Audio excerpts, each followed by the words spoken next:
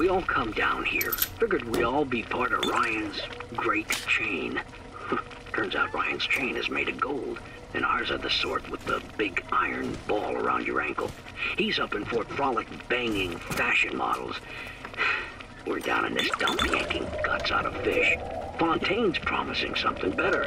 He's like uh, one of us, you know? Like he's worked a day in his life. He says meet him at his fish packing joint at 11.